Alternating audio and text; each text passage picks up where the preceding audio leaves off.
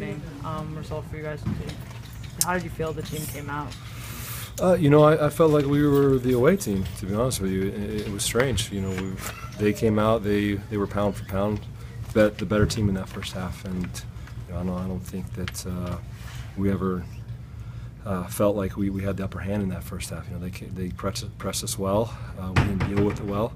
Um, we couldn't hold the ball. And we made bad decisions uh, with our passing and um, with our defending as well. And um, you know, they wanted it more, and uh, that was the disappointing part, I think, of the first half.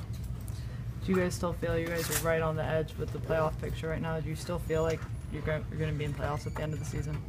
Uh, you know, I, I, think that we need to take some time on, on, this one and really evaluate, you know, what we did wrong, you know, for the next uh, 24 hours, and we got to get over it uh, because uh, we, we are right there. There's tremendous opportunities for us going forward. Uh, we've made things uh, more difficult for ourselves right now, but you know it's it's still all there for us, and I think that this is a group that needs to come together and needs to come together quickly so that we can um, really make this push to the playoffs. With the way you, with the way you've come out in the last two, three games, especially, I mean, is this a surprising uh, response to that? Yeah, and it reminds me of the Orlando game a bit. You know, where um, know, it's a day game. It's uh, uh, an opportunity again to, to, play well at home, and you know we just don't come out with enough energy and, and enough bite, uh, and um, you know we just make bad decisions. And um, you know I, I, think this is something that um, is tough, you know, to swallow because you know it's at home.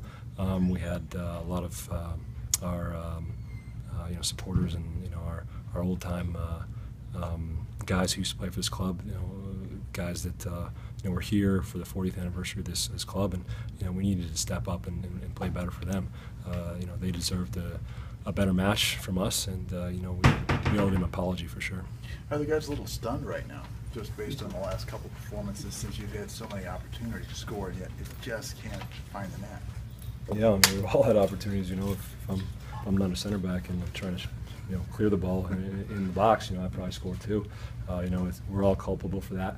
Um, you know, we can all get better at that, and, we're still creating chances. Uh, that's the, that's the good thing. You know, they scored uh, their first goal was a bomb. You know, it was, it was, a, shot from distance, and um, you know we need to keep shooting.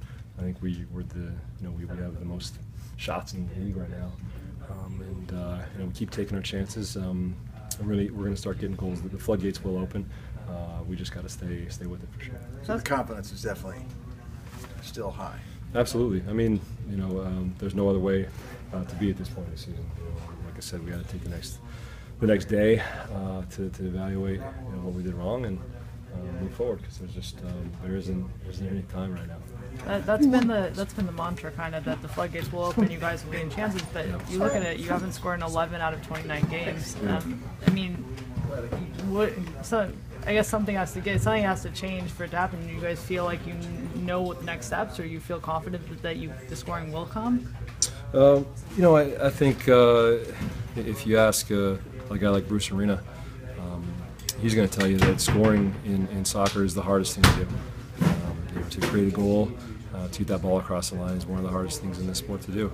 And uh, you know, we've got some you know amazing talent. We've got some uh, very creative guys uh, and we're creating chances. You know, so I, I, firmly believe that uh, it's going to come for us, and um, you know when it does, you know we, we know that uh, we got to stay solid defensively, and and we're going to get those goals, and it's going to come.